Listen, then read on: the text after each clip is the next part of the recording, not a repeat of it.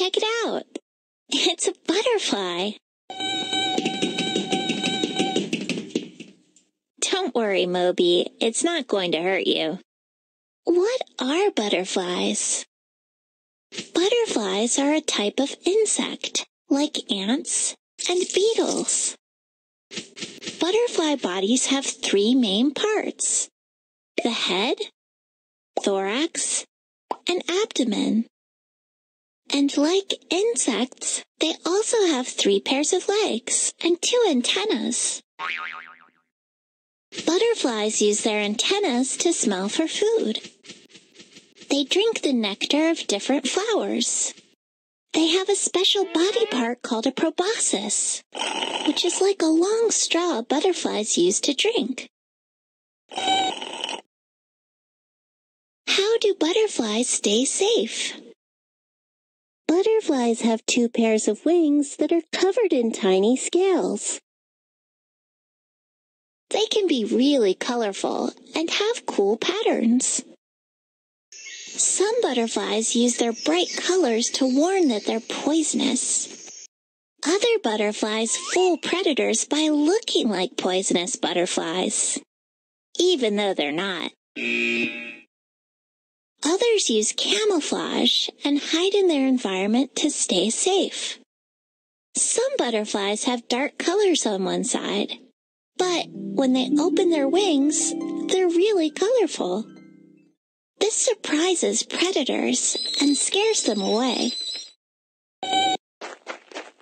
Cool, a caterpillar.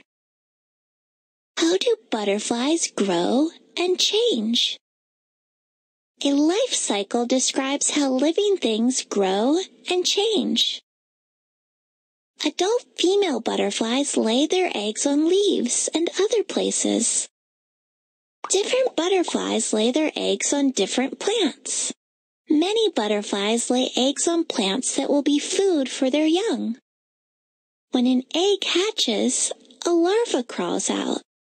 Right, Moby. The larva is called a caterpillar. Caterpillars can be colorful and have different patterns. Some caterpillars are even hairy. The caterpillar eats and eats to grow. It even sheds its skin as it gets bigger. Some caterpillars are really tiny, but others are really big. Then the caterpillar changes into a pupa, which is also called a chrysalis. Not all caterpillars spin cocoons. Some moth caterpillars spin a cocoon around them and turn into a pupa inside. But butterfly caterpillars do not make cocoons. The pupa goes through metamorphosis. It can take a few days or even a few weeks. During metamorphosis, the pupa grows wings and goes through other big changes to become an adult. Adult butterflies and moths look a lot different from caterpillars. Some butterflies migrate and travel for many miles so they can lay their eggs in warmer or drier places. There are many different kinds of butterflies around the world.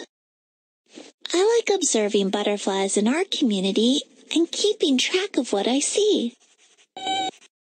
There's really nothing to be afraid of, Moby. I think it likes you.